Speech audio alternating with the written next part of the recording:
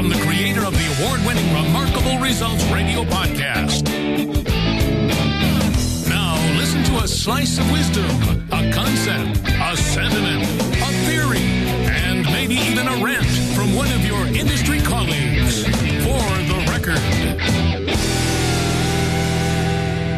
How are you? Carm Capriotto here, and in just a minute, Brian Walker, co-owner of Shop Marketing Pros, explains his 13 foundational marketing tactics. Have you been thinking about integrating digital vehicle inspections in your shop? Well, look, implementing change can be a challenge, but it doesn't have to be painful. FlexCheck Auto DVI software is designed to conform to your shop's philosophy. It's not only fully customizable to your shop's needs, but it's easy to use. FlexCheck Auto guides the technician through the inspection process one step at a time. And with the ability to take and send pictures and videos, your customer sees any vehicle issues with their own eyes, including them in the repair process and boosting confidence in your shop.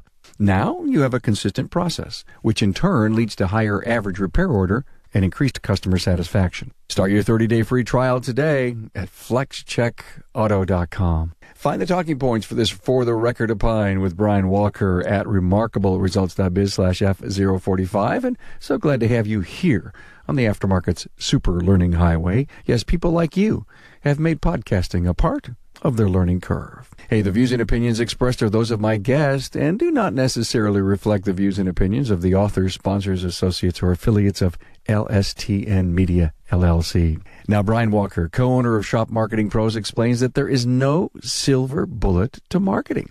He shares 13 foundational marketing tactics and is adamant that your marketing is consistent. When business is good, you keep marketing. And when it's bad, you keep marketing.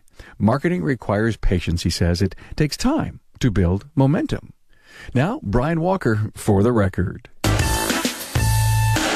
One of the questions I get asked all of the time is what's the single best tactic to use when marketing a small business like an auto repair shop? In this rant, I'm going to answer that question. And there's absolutely a definitive answer for this. First, though, let's look at what I'm really being asked when someone poses this question. Brian, I have little to no budget and I don't have time to do things right in my business. What magical spell can I put out there that won't require me spending any money, won't take much of my time, and it'll have cars lined up outside of my shop tomorrow morning? Yeah, okay, so maybe that's a little harsh, but that's the world we live in today. We want instant gratification without putting in the work. That's probably not you if you're listening to this podcast, but if you did come here looking for that, it's probably that you've simply been misled by all the marketing gurus on Facebook who swear that they can make it rain customers on your business with their super secret three step process that they'll teach you for only $997. Anyone listening that's ever had success with one of those, please tell me about it. Let's get real though.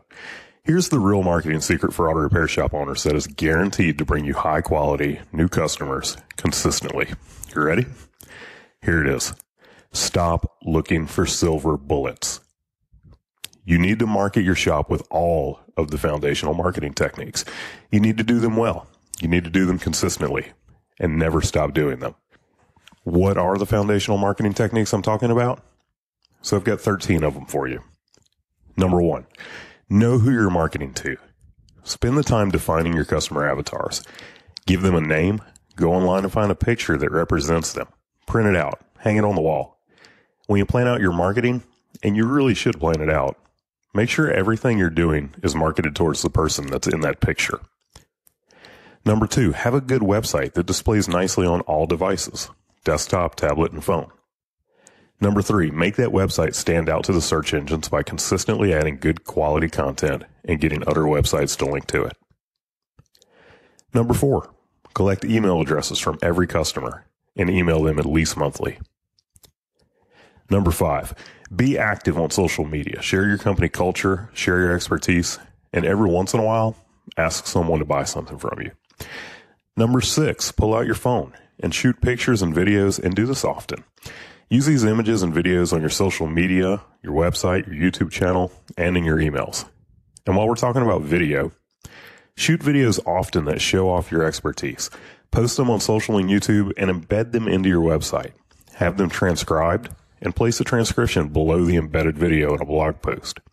Your clients will love that content and Google will love that content. Number seven, once per week, drop 20 to $50 on boosting a Facebook post. Organic social reach is at an all time low. Just because you've always heard that Facebook is free doesn't mean that it still works as a free marketing tool. It might, but barely. And along those same lines, number eight, give some money to Google.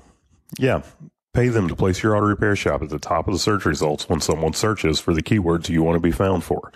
This is called pay per click advertising, and it works. It works really well.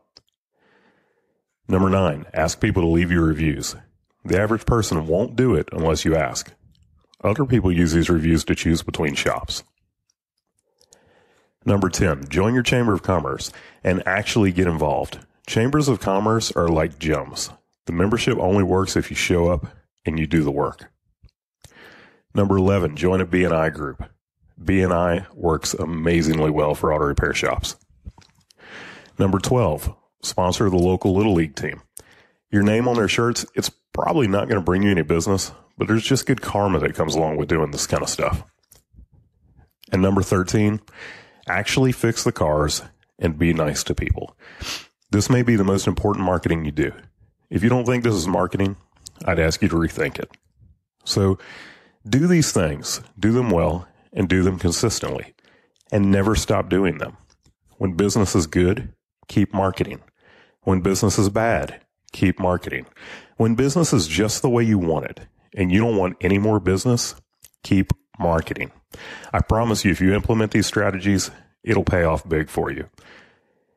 And also be patient.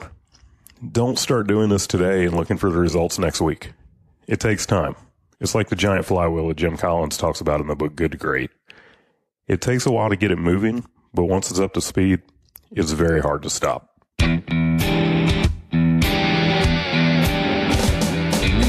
Thanks for listening to For the Record from Remarkable Results Radio. Subscribe to the show on your favorite podcast listening app. Remarkable Results podcast content at remarkableresults.biz.